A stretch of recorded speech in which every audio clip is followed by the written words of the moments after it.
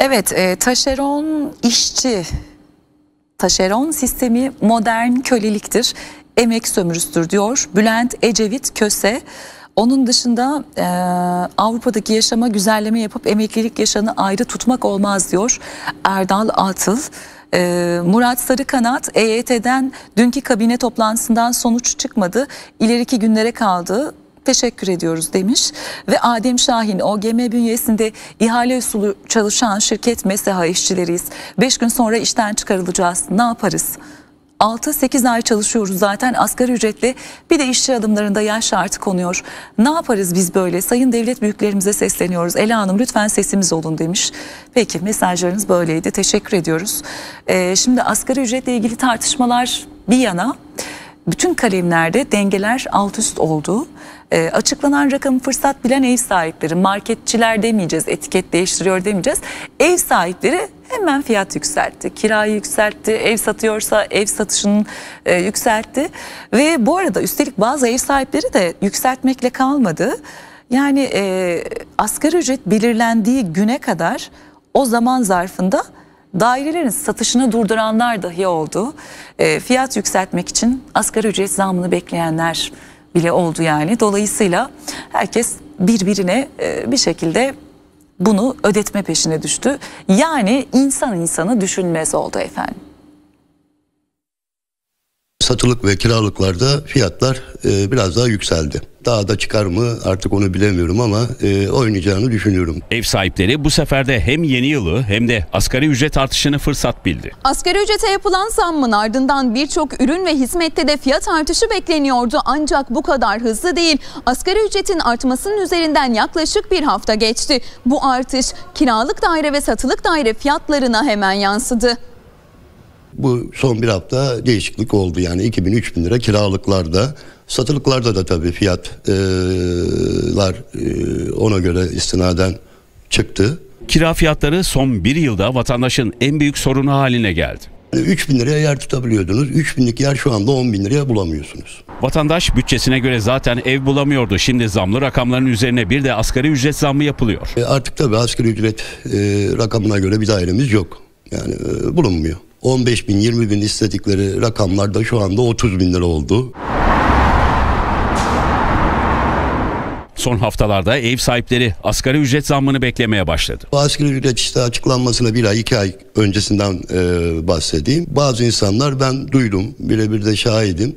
E, açıklanmasını beklediler. Açıklanınca da direkt e, zamını uygulayıp e, emlakçı arkadaşlarımıza verdiler. Uzun süredir cep yakan emlak fiyatları böylelikle yeniden tırmanışa geçti. Başını sokacak bir ev arayanlar kiraların gelirlerinin tamamını ya da dörtte üçü kadar olduğunu söylüyor. Fiyatlar çıkınca tabii talep düştü. Ee, pek hareketlilik yok diyebilirim. Bıkmış insanlar, e, bulamıyorlar.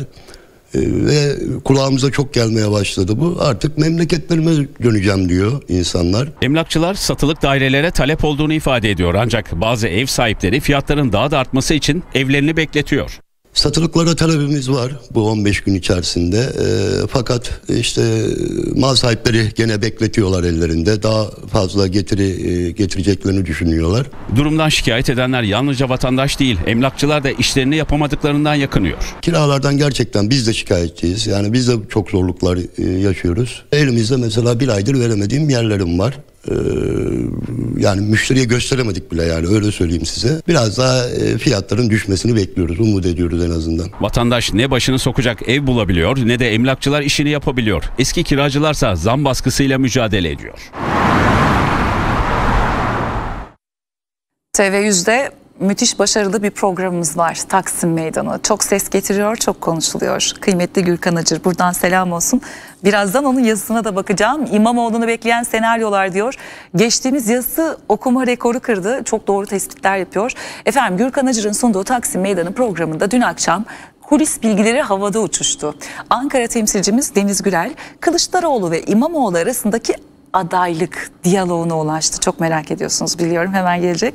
Barış Arkadaş da Kılıçdaroğlu'nun İmamoğlu ve Mansur Yavaş'a verdiği görevi aktardı. Tamamen kulis bilgileri konuşuldu programda. Gündem belirledi. Seyredelim.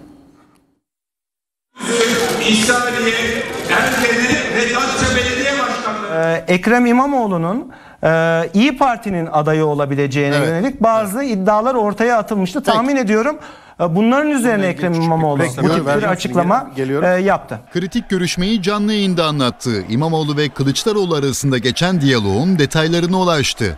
Asıl önemli olan görüşme yani e, Kemal Kılıçdaroğlu'yla Ekrem İmamoğlu'nun buluştuğu görüşme Ankara Çankaya Belediyesi Ahlatlıbel tesislerinde dün yani pazar günü saat 15'te gerçekleşiyor.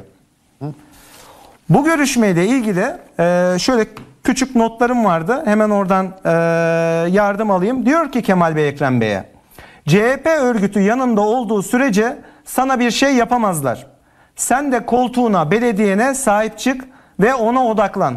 Mesajını net bir şekilde veriyor.